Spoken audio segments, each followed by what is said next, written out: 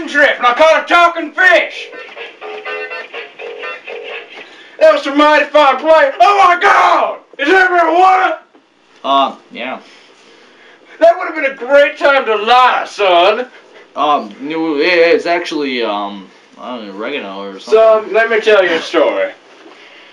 It's gonna be long-winded, and you're not gonna enjoy it, but it'll be funny. Oh, okay. How long is this gonna take? Shut up! Alright. Now! Okay. And shut up he did. Pop told his poor, defenseless son all about the dangers and benefits of marijuana, including some of its history. And as he promised, it was both long-winded and hilariously funny. And now, for your pleasure and enjoyment, some slang terms for marijuana. Pot. Ganja. 420. Grass. Reefer. Bud. Herb. Skunk. Chronic. Mary Jane. Aunt Mary. Gonzo. Weed. Boom. Hmm. How you doing up there? Hip. And now for some slang terms for marijuana cigarettes that aren't nearly as geeky as marijuana cigarettes.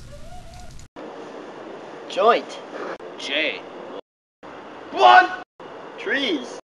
Fatty. The kind. Nail.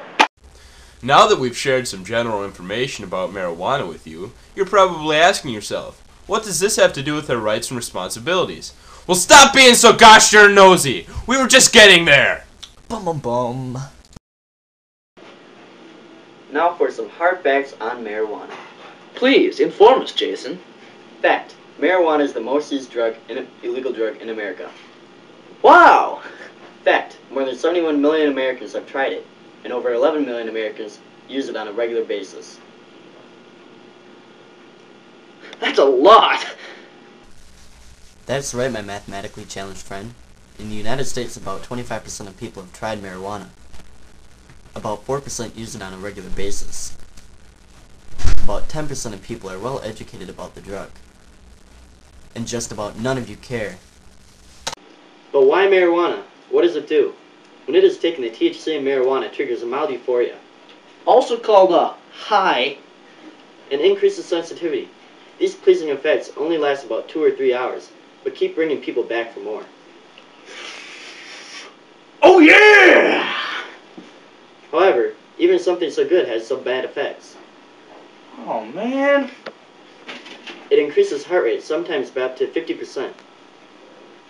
Oh god. Oh god. It also gives users the munchies. Woo! Oh yeah. But the biggest threat is inhaled smoke. Inhaling anything but air is really bad for you. Even though mar- marijuana isn't manufactured, it still has cancer-causing effects. Oh poop. Bum bum bum. Well, the rights that we have for marijuana aren't very extensive, as you can see from this graph. The states in green have a law allowing medicinal marijuana, which is marijuana prescribed by your doctor. Marijuana is illegal in all other states. States in red have never had medicinal marijuana laws. States in yellow had them at one point, but they expired, and states in green had laws, but they were repealed. It might have been hard for some of you simple-minded folk to take in, so here's a simpler map for you. In this map, green means the doctor lets you smoke weed. Blue means he doesn't. Got it? Good. Like all things in life, people's views of marijuana have changed over the years. Here's a sampling of what some of those views were from the 30s until today. In the 1930s, there was a so-called fact that pot was the dreaded assassin of youth. It was a one-way ticket to crime, madness, and despair. Hmm. In the 1960s, pot's new fact was that pot was just seen as a harmless giggle. Tee Maybe not healthy, but it was groovy, and no harm was done, just like alcohol and tobacco. Everything was about peace, love, and telling down the man. In the 1980s, everything changed. Conservatism was again the cool and in thing to do, and we kept gaining new facts all the time. The assassin of youth was back and was in full force. Bum bum bum. If you have marijuana for medical use in a state that doesn't allow it, or have it for recreational use anywhere, you can be punished pretty severely. You may be convicted to up to one year in jail and a fine of $1,000 for just a first offense of possession of marijuana. Your second offense is up to two years, $2,500, and a third is up to three years in jail and a minimum fine of $5,000. We here in America want the facts and we want them now. So here's a quick barrage of facts for those of you with short attention spans. States have been trying to pass marijuana laws since 1978.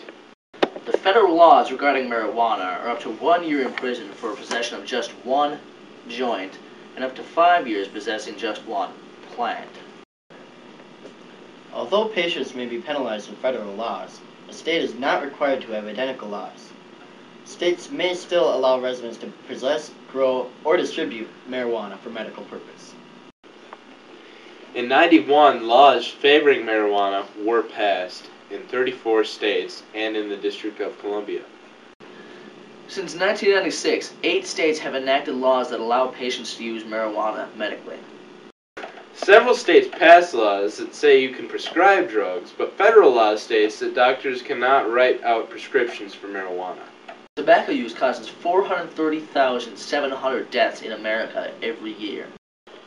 According to National High School Survey, lifetime marijuana use declined from 60.4% in 1979 to 32.6% in 1992, but increased from there to 41.7% in 1995.